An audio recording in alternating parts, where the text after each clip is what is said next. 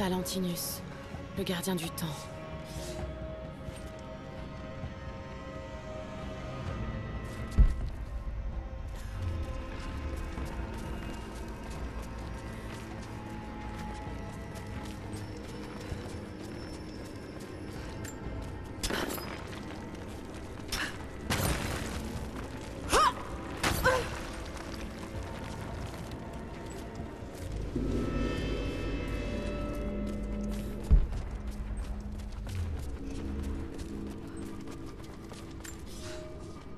Une fois la ville con...